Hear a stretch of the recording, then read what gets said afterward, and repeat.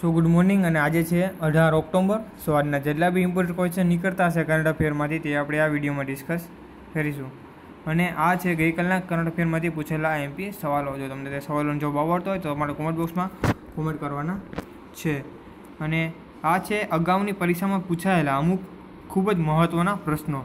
જો તમ, તો હું આ પ્રશ્નોનો જવાબ વિડીયોના લાસ્ટમાં અંતમાં આપીશ. સો આજનો પ્રથમ પ્રશ્ન શરૂ કરીએ. તો પ્રથમ પ્રશ્ન છે કે તાજેતરમાં આંતરરાષ્ટ્રીય ગરીબી નિવારણ દિવસ ક્યારે મનાવવામાં આવ્યો છે? સો આંતરરાષ્ટ્રીય ગરીબી નિવારણ દિવસ એ સત્તર ઓક્ટોબરના રોજ મનાવવામાં આવે છે, જે યુએન દ્વારા મનાવવામાં આવે છે. અને આ દિવસે જે લોકો ગરીબીમાં જીવી રહ્યા છે અને જે સંઘર્ષ કરી રહ્યા છે, તેમના વિશે લોકોમાં લોકોમાં જાગૃતતા ફેલાવવા માટે દર વર્ષે આ દિવસ મનાવવામાં આવે છે.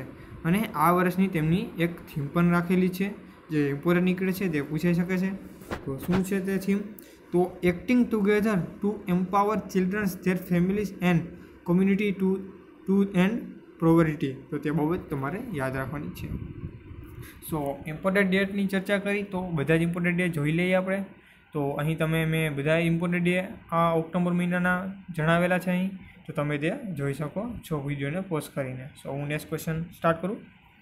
સો તાજેતરમાં વર્ષ બે હજાર ઓગણીસનો નરસિંહ મહેતા એવોર્ડ કોને આપવામાં આવ્યો છે? સો આ એવોર્ડ આપણા ગુજરાતીમાં સાહિત્યમાં આપવામાં આવે છે તો તે એક્ઝામની દ્રષ્ટિએ ઇમ્પોર્ટન્ટ નીકળી શકે છે.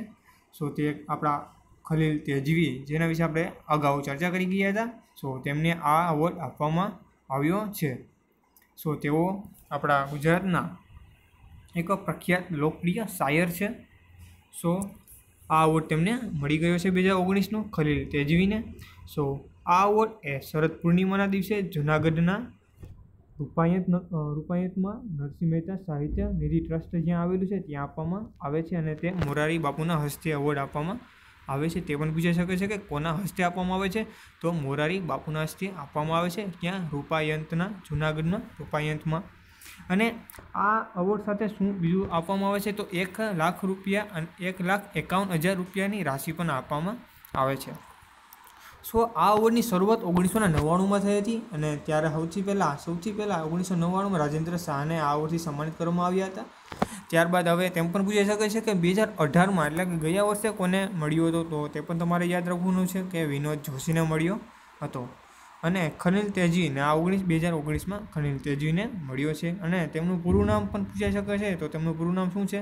ખલીલ ઇસ્માઇલ મકરાણી છે, તે બહુ તમારે યાદ રાખવાની છે. અને તેઓ વડોદરાના ધન તેજવી ગામના રહેવાસી છે મિત્રો. તે બાબતમાં તમારે યાદ રાખવાની છે.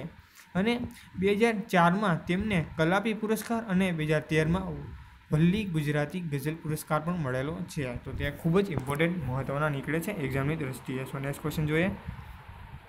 તાજેતરમાં કયા દેશોને આઈસીસીની સદસ્ય ફરીથી મળી છે? સો નેપાળ ને ઝિમ્બાબ્વે. આ જે એ અને બી ઓપ્શન છે, તે બંનેને ફરીથી આઈસીસીની સદસ્ય પ્રાપ્ત થઈ છે.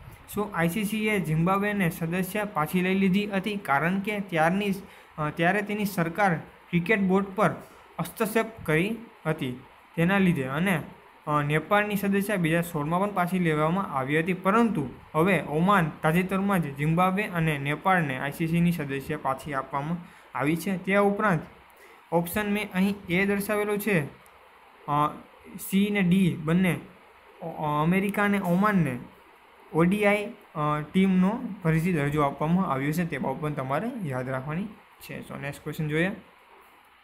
અને અહીં મિત્રો તમે આઈસીસીની બીજી ડિટેલ્સ જોઈ શકો છો, જે આપણે વારંવાર ચર્ચા જ કરીએ છીએ.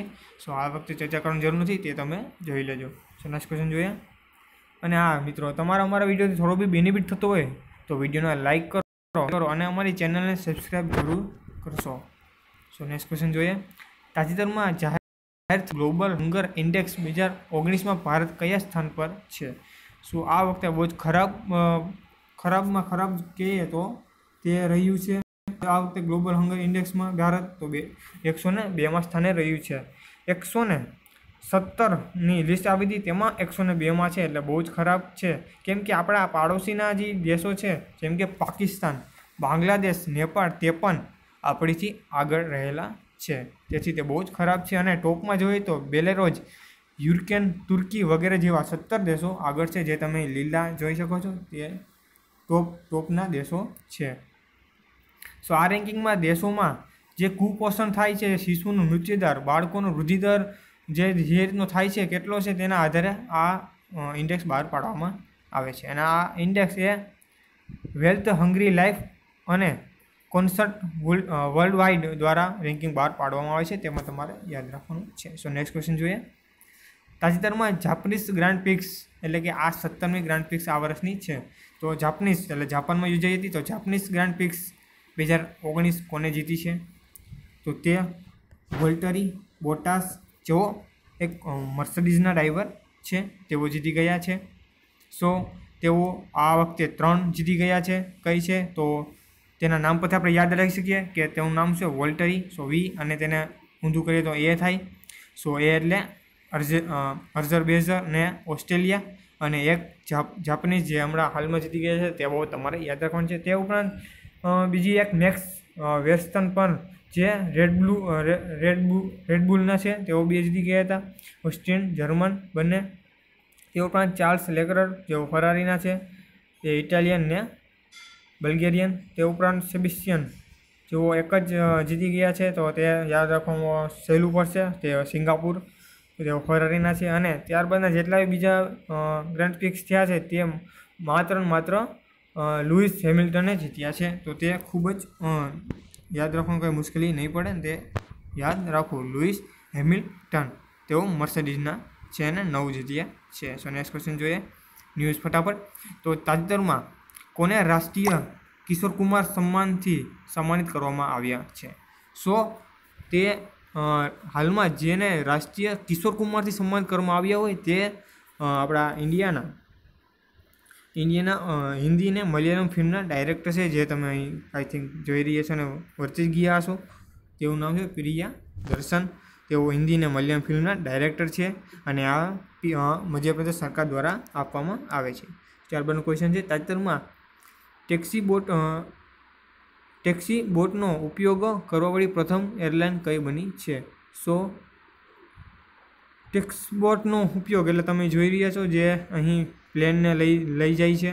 સો, આમાં શું છે ને કે આ છે ને Air India sorry Air India બની ગઈ છે પ્રથમ એરલાઇન જે ટેક્સી બોટનો યુઝ કરે. સો, આમાં શું છે ને કે જે પ્લેન છે તેનું ઇંધણ બચે અને તેને એન્જિન ઓફ જ દરમિયાન તેને ટ્રેક ઉપર આ ટેક્સી બોટ દ્વારા લઈ જવામાં આવે અને તે પ્રથમ એર એર ઇન્ડિયા બની ગઈ છે આપણા ભારતમાં.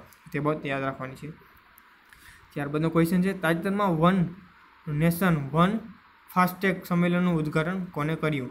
તો તે આપણા એમએસએમઈ, તે આપણા એમએસએમઈ અને રોડ પરિવહન રાજ્ય માર્ગ મંત્રી છે ગડકરી, નીતિન ગડકરી, જેને તમે અહીં જોઈ રહ્યા છો.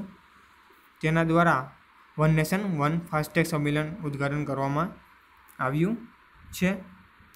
સો, આ દિલ્હીમાં સંમેલન કરવામાં આવ્યું હતું અને આ સંમેલનમાં શું હશે? તો કે જે ટોલ પ્લાઝા આવે છે, હાઈવે ઉપર, તો તેના પર આ ફાસ્ટેગનો સ્કેન થશે અને જેની ગાડી જેને, જેની બી હશે, જે ઓનર હશે તેના અકાઉન્ટમાંથી ડાયરેક્ટ જેટલા બી પૈસા થતા હોય, ટેક્સ તો તે કપાઈ જશે અને સહેલાઈ પડશે. ટ્રાફિક બહુ નહીં થાય. તે માટે આ સંમેલનનું આયોજન કરવામાં આવ્યું હતું દિલ્હી ખાતે. નીતિન ગડકરી દ્વારા તો તે બાબત તમારે યાદ રાખવાની છે. સો નેક્સ્ટ ક્વેશ્ચન જોઈએ.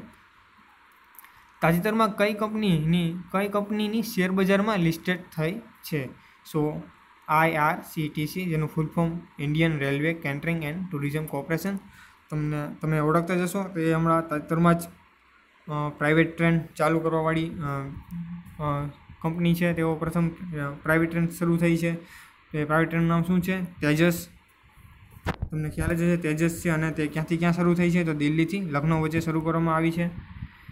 તો તે બહુ જ યાદ રાખવાની છે. સો નેક્સ્ટ ક્વેશ્ચન જોઈએ. અને આ આ અગાઉના, અગાઉની પરીક્ષામાં પૂછાયેલા પ્રશ્નો છે, જે ખૂબ જ ઇમ્પોર્ટન્ટ છે, તો તે આપણે સોલ્વ કરીએ અને તે પૂછાઈ શકે છે. સો પ્રથમ પ્રશ્ન છે, ગુજરાત રાજ્ય માટે બારમી માર્ચનો દિવસ શા માટે યાદગાર બની રહ્યો છે. સો તમને એક્ઝામની તમે તૈયારી કરતા હશો કોમ્પિટેટિવ તો તમને ખ્યાલ જ હશે કે દાડી યાત્રા, દાડી દાડી યાત્રા થઈ હતી બાર માર્ચે, બાર માર્ચ ઓગણીસો ને ત્રીસ. તો તે સાલ પણ પૂછી શકે, તો તે બાબત પણ તમારે યાદ રાખવાની. ત્યારબાદનો ક્વેશ્ચન છે, રાષ્ટ્રપતિએ જાહેર જાહેર કરેલ વટહુકુમ સંસદ શરૂ થયા બાદ કેટલા સમયમાં મંજૂર થવું જરૂરી છે? તો તે જવાબ આન્સર આવે છે. છ અઠવાડિયામાં. છ અઠવાડિયામાં રાષ્ટ્રપતિએ જાહેર કરેલ વટ વટહુકુમ સંસદમાં શરૂ થયા બાદ છ અઠવાડિયામાં સમયમાં તે મંજૂર થવો ફરજિયાત જ છે. ત્યારબાદનો ક્વેશ્ચન છે, ગુજરાત રાજ્યના રન ફોર યુનિટી કાર્યક્રમ કઈ તારીખે ઉજવવામાં આવશે? સો તે એકત્રીસ ઓક્ટોબરના રોજે ઉજવવામાં આવશે. જ્યારે સરદાર વલ્લભભાઈ પટેલનો જન્મદિવસ છે. તો ત્યારના દિવસે રન ફોર ધ યુનિટી કાર્યક્રમ યોજવામાં આવશે. આ પ્રશ્ન ઇમ્પોર્ટન્ટ છે. તો તે બાબત તમારે યાદ રાખવી. તે ઉપરાંત અહીં બે ઓક્ટોબર એટલે કે ગાંધી જયંતિ છે. ત્યાં છવ્વીસમી જાન્યુઆરી એટલે તે પ્રજાસત્તાક દિવસ છે આપણો. અને પચીસ ડિસેમ્બર તમને ખ્યાલ જ હશે. નહીં હોય તો હું જણાવી દઉં કે અટલ અટલ, આપણા અટલ બિહારી વાજપેયીનું જન્મદિવસ છે. તો તે બાબત તમારે યાદ રાખવાની છે. ત્યારબાદનો એમએસ એક્સેલમાં કુલ કેટલા હરોળ હોય છે? જો આ પ્રશ્ન વારંવાર પૂછાઈ શકે પૂછાય છે પૂછાય જ છે. કોમ્પ્યુટરના ટોપિક રિલેટેડ તો તેમાં શું ઓપ્શન ડી સાચો છે? પાસે પાસે પાંચસો ને છત્રી હોય છે. ત્યારબાદ ગુજરાત છે ભારતમાં માન્ચેસ્ટર તરીકે ગુજરાતનો કયું શહેર પ્રસિદ્ધ છે? તો તેમને ખ્યાલ જ હશે, અમદાવાદ. અને અને આ છે. ગઈકાલના કરંટમાંથી પૂછેલા એમપી સવાલો. તો તાજેતરમાં વર્લ્ડ ફૂડ ડે ક્યારે મનાવવામાં આવ્યો છે તો તમને ખ્યાલ જ હશે. સોળ ઓક્ટોબરના રોજ અને ત્યારબાદ તાજેતરમાં બુકર પ્રાઇઝ બે હજાર ઓગણીસનો કોને આપવામાં આવ્યો છે તો આ બુકર પ્રાઇઝ બે હજાર ઓગણીસ એ ખૂબ જ આઈપી છે. તો તે બાબત તમારે યાદ રાખવી તો તે બે વ્યક્તિને આપવામાં આવી છે. તે ઉપયુક્ત બંને બંનેને આપવામાં આવ્યું છે કોને? માર્ગરેટ એડવુડ અને બન અ, બન્નાડાઇન એવરી સ્તર તે બાબત તમારે યાદ રાખવા સંયુક્તમાં આપવામાં આવ્યું છે. એટલે ઇમ્પોર્ટેન્ટ છે. સો વીડિયો પસંદ આવ્યો હોય તો વિડીયોને લાઇક કરો, શેર કરો અને અમારી ચેનલને સબસ્ક્રાઈબ તો જરૂર કરશો. So have a nice day.